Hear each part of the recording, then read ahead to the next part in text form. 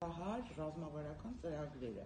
Իսկ ո՞րն են այդ ռազմավարական հերահար նպատակները Թուրքիայի։ Դա այսպես կոչված Greater Turkey մեծ մեծ Թուրքիա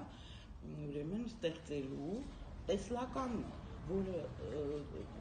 եթե այսօր թվում է անիրականանալի, բայց անընդհատ Թուրքիայի իշխող վերնախավի ուղերձներում այդ մեծ Թուրքիայի գաղափարը կա եւ դրա մասին եւ խոսում է մամուլում եւ իշխանամերձ մամուլում եւ հայտարարվել է դրա մասին, որ 23 թվականին, երբ հանրապետության 100-ամյակն լրանալու,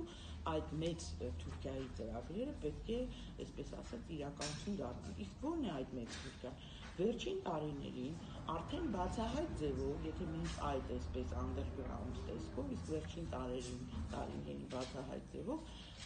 թուրքական որոշակի շրջանակներ չեն թաքցնում, որ իրենք կասկածի տակ են առնում Լոզանի պայմանագիրը, որով նախանշվել են Թուրքիայի այսօրվա սահմանները եւ անընդհատ վկայակոչում են այսպես կոչված այդ ազգային ուխտը, հա, որը այսօրվա այսպես Թուրքիայի հանրապետության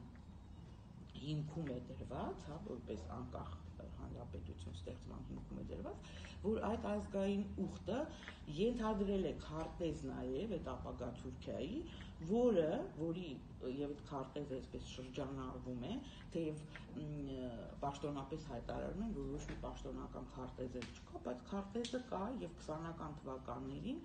ես դա վերջերս հրապարակել եմ պարոն Ռուբեն Սաֆրասյանը թուրքագետ նույնպես իր վերջին գրքում հրապարակել է այդ քարտեզը շրջանառության մեջ եղել է այդ քարտեզը ներառում է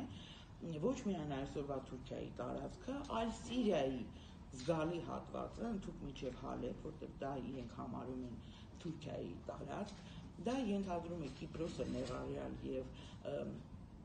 ոչ միայն արևելյան Թրակիան, այլ արևմտյան Թրակիայի մի զգալի հատված, այսինքն Բալկաններից մի կտոր պիտի կծեն, ասենց ասենք, դա ենթադրում է անպայմանորեն Մոսուլի վիլայեթը, Մոսուլը, որը այդ ազգային ուխտի ընդունման ժամանակ դեռ լուծված չէր եւ հետո անցավ Իրաքին, բայց իրենք համարում են, որ դա իրենց օրինական տարածքներն են եւ հաջորդ, այսպես ասած, կետը, տարածքը դա մինչև Նախիջևան Նախիջևանը ամբողջությամբ ընդգրկված է եւ Հայաստանից մի փոքրիկ հատված է մնում։ Այսինքն սա այն տեսլականն է, որը ունի Թուրքիան։ Եվ եթե մենք տեսնենք, թե ինքը որ ուղություններով է այս վերջի տարիներին իր գործողությունները փորձում փորձում իրականացնել, որովհետև մեկը չի ասում, որ դա հաջողված կլինի, կհաջողվի եւ թույլ կտան Թուրքիային, բայց եթե համաշխարհային եւ միջազգային հանրությունը թույլ տան, որ Թուրքիան այս անգամ էլ մարսի այն ինչ որ ինքը անում է, նրա ախորժակը ուրեմն տարածվում է այսպես։ Իսկ